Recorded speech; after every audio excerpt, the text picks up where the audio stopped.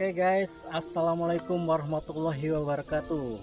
Kali ini kita akan review sebuah sepeda YHC guys. Sepeda yang udah dimodifikasi tapi diprioritaskan buat tampilan bukan buat kecepatan ya guys. Buat tampilannya biar kelihatan lebih sangar gitu guys. Kita mulai dari depan dulu guys dari depan ada velg variasi. Ini kita menggunakan velg variasi berwarna gold atau warna emas guys. Dan bannya juga memakai merek Maxis. Dengan ukuran 110 per 60 ring 12 guys harganya kalau boleh tahu ini sekitar 3000 NT dolar guys. Misalkan buat teman-teman yang pengen modifikasi sepedanya memakai ban Maxis ini harganya 3000 NT guys. Nah untuk cakram depan kita memakai merek dari Polamdo. Merek Polamdo. Itu kita beli satu set depan belakang guys. Kita beli satu set depan belakang dengan harga 2700 NT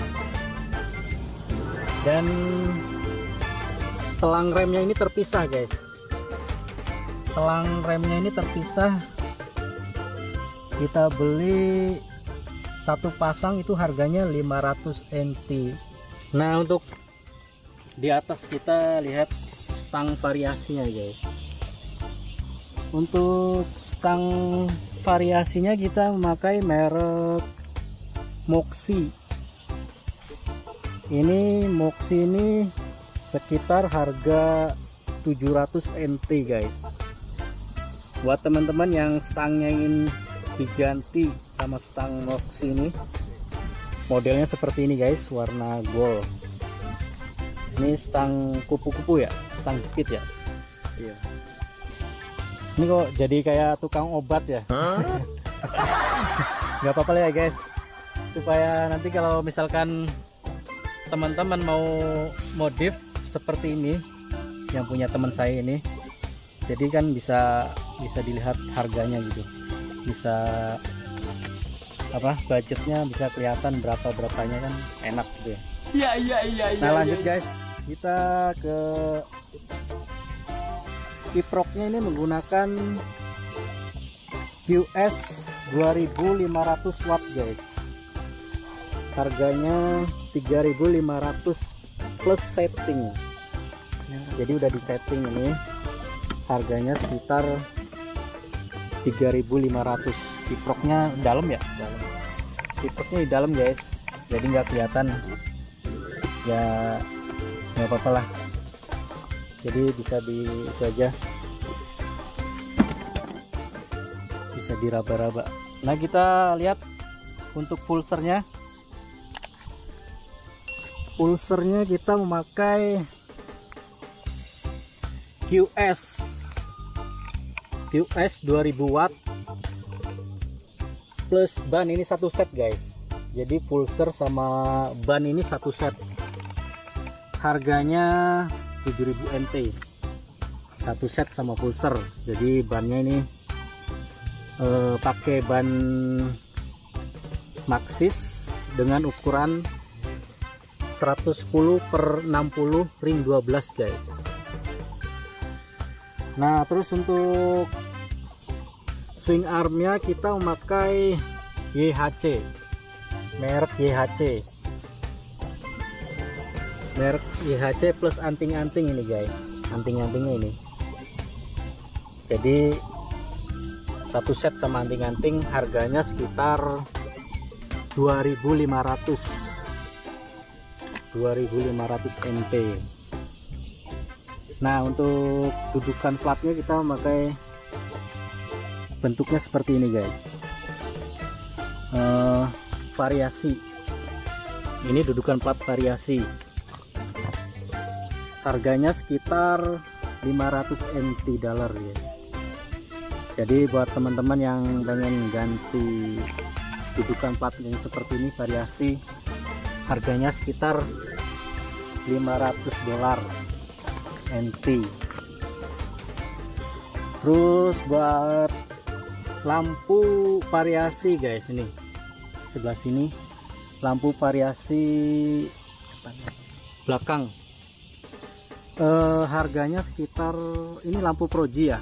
Lampu proji harganya sekitar 600 lampu variasinya guys. Nah yang di depan juga sama memakai lampu variasi proji kita lihat dari depan lampu variasi lampu proji nah bentuknya seperti ini guys. Jadi kelihatan lebih menonjol. Nah untuk baterainya sendiri ini ada 6 buah guys.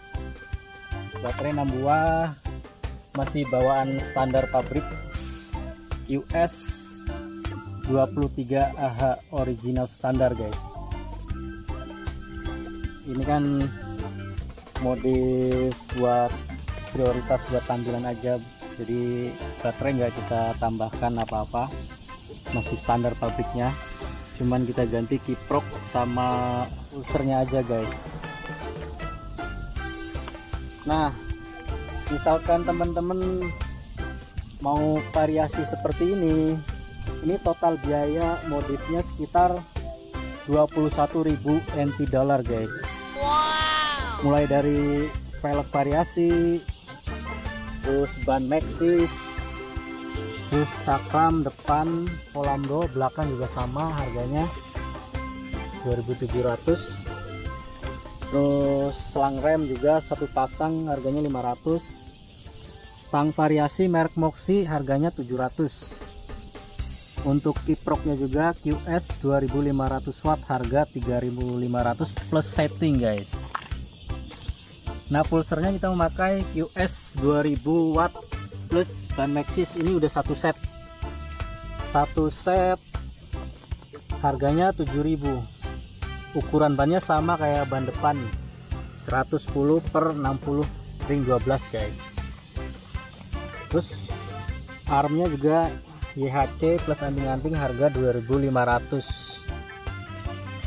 sama dudukan plat nomor variasi harganya 500 lampu variasi depan belakang lampu proji harganya 600 ini untuk satu ya satu buah. Lampu ini 600 jadi dua sama yang depan. Jadi di total semua harganya biayanya menghabiskan dana sekitar 21.000 NT dolar guys. Nah kira-kira seperti itulah modif dengan gaya style seperti ini guys. Menghabiskan biaya cukup lumayan lah. 21.000 NT lumayan. Ya besar enggak kecil enggak lah. Iya iya iya iya iya nah terima kasih Eh, terutama terima kasih buat yang punya sepeda ini Mas Mas Sulis. Orangnya masih kerja dia. Berhubung kita udah udah izin sama beliau jadi ada waktu juga ya kesempatan lah. Sambil ngevlog juga di sini daerah Bendungan guys. Bendungan di daerah Taian. Tempatnya lumayan bagus jadi satu kali jalan dapat tiga konten guys. Kita mau review satu sepeda lagi. Wow. oke cukup sampai di sini dulu untuk review kita yang sepeda YHC warna kuning ini. Jangan lupa klik tombol subscribe like comment dan share. Dan jangan lupa diklik tombol loncengnya biar nggak ketinggalan video dari kita yang terbaru. Wassalamualaikum warahmatullahi wabarakatuh.